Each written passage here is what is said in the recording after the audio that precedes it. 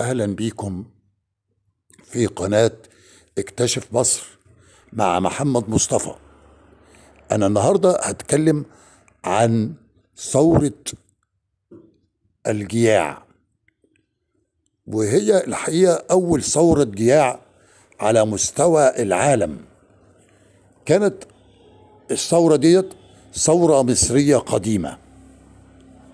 الحضارة المصرية زي ما إحنا عارفين هي حضارة عظيمة جدا وفعلا هي فخر لمصر. ولكن بيكون في في كل بلد فترات ضعف وفترة الضعف اللي مرت بيها مصر وأسوأ فترات الحضارة المصرية لما قامت أول ثورة جياع على مستوى العالم. وحصلت الثورة دي ضد الملك بيبي الثاني في نهاية حكم الدولة القديمة. فالملك ده اللي هو اسمه بيبي الثاني حكم مصر لأكثر من 96 عاما.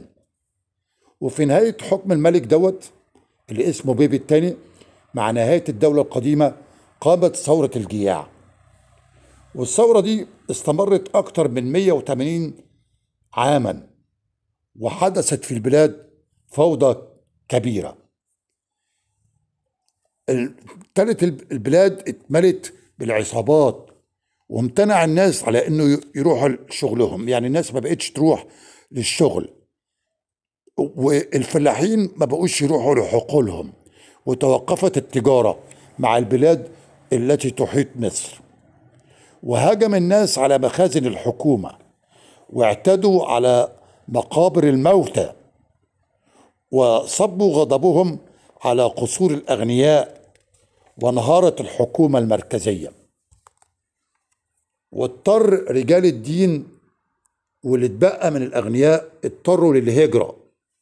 عايز أقول دلوقتي إيه أسباب الثورة دي؟ واحد نتيجة حكم الملك بيبي الثاني لمصر فترة طويلة تزيد عن الستة وتسعين عاما زاد فيها نفوذ حكام الأقاليم وهم اللي كانوا بيحصلوا على هبات عظيمة من الملك بيبي الثاني من أجل ضمان ولائهم. اتنين انهيار الاقتصاد المصري زي تدهور التجارة ونقص مياه النيل ونتيجة لنقص مياه النيل حصلت المجاعات. كان الوضع في مصر في الفترة دي سيء جدا وانتشر قطاع الطرق في كل مكان وما بقاش في أمان في البلد. وأصبح الناس اللي بيمتلكوا أرض أو تجارة أصبحوا فقراء. واللي ما كانش معاهم حاجة خالص أصبحوا أغنياء لأن هم اللي سرقوا ونهبوا. واللي زاد الأمر سوء إن عصابات من البدو كمان كانوا بيسكنوا على الحدود المصرية في شرق أو غرب البلاد.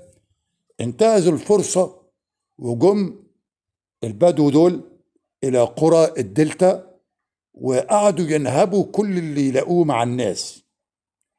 والناس ما بقتش تثق في بعضها.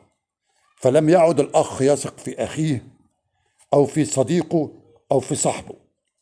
وأصبح الناس عاجزين عن دفع عن دفن موتاهم. فكانوا بيرموا جثث الموتى في النيل وانتشرت الأمراض بهذه الأحداث المؤسفة. انتهت فترة الدولة القديمة. واستمرت البلاد في حالة من الفوضى لمدة 180 عاما زي ما قلت لكم. وده بيعرف في التاريخ المصري باسم الانتقال الأول عصر الانتقال الأول. دلوقتي عايز أقول المصدر اللي عرفنا منه قيام هذه الثورة التي تعرف باسم ثورة الجياع. المصدر هو البردية اللي موجودة قدامكم دلوقتي وهي بردية باسم إيبوور. بتحتوي على نص شعري لحكيم اسمه إيبوور أو ابور والبردية دي موجودة حاليا في المتحف اللي موجود في هولندا باسم ليدن متحف ليدن في هولندا. في البردية دي بيصف إيبور أو إبور حال البلاد التي أصيبت بالانهيار زي ما قلت لكم. وبتتكون البردية من 17 صفحة وتم العثور عليها سنة 1828 ويصف إيبور أب إبور الثورة على بردية. البردية دي الموجودة في هولندا في المتحف اللي اسمه ليدن زي ما قلت لكم. حكم الملك بيبي الثاني حكم مصر لمدة 96 عاما ولكن بعد بيبي الثاني زي ما موجود على البردية بيقول إن في 70 يوم حكم 70 ملك. وده بيدل على عدم الاستقرار اللي ساد البلاد. ووصف إيبور أب أوبوير مية النيل بأنها أصبحت مياه حمراء. ليه أصبحت مياه النيل حمراء؟ بسبب عدد القتلى والموتى. يعني الوضع في مصر كان سيء جدا. من حوالي أربعة آلاف سنة زي ما أنتم شايفين قامت الثورة وده اللي كان اللي كنت هنا عايز أشرحه وأحكيه لحضراتكم. وأتمنى إن يكون الفيديو دوت نال إعجابكم وتشتركوا في القناة اللي لسه ما اشتركش وتعملوا share و like وتفعلوا الجرس ليصلكم كل جديد. كان مع حضراتكم محمد مصطفى. إلى اللقاء في فيديوهات أخرى قادمة. السلام عليكم.